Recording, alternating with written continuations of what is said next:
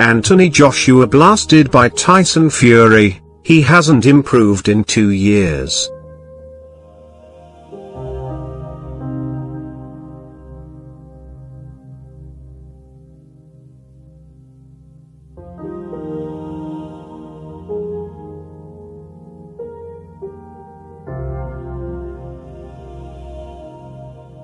Anthony Joshua is a limited opponent. He's big and strong and that's it. Tyson Fury, former heavyweight champion.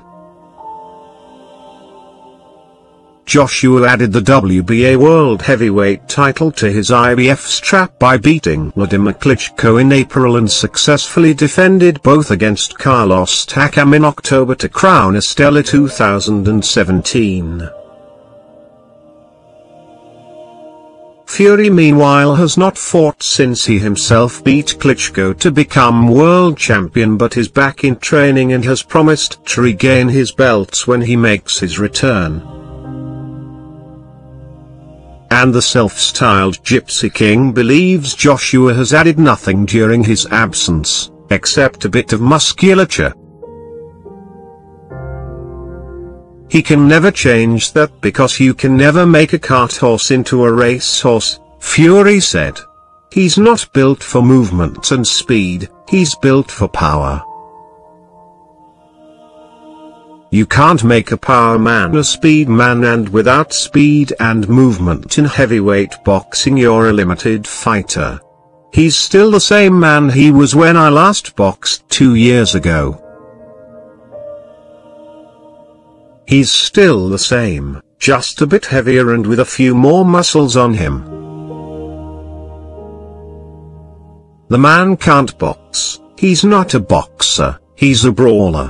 When he gets in there with someone who can box and move, he will get beaten, it's as simple as that.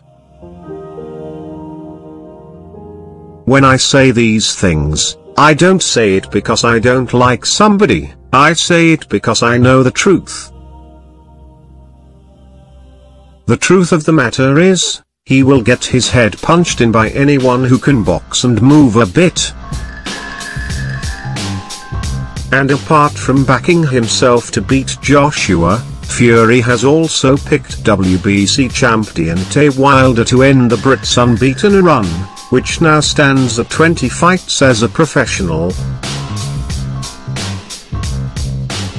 If those two fought I believe Wilder would knock him out, Fury added. AJ is a limited opponent. He's big and strong and that's it.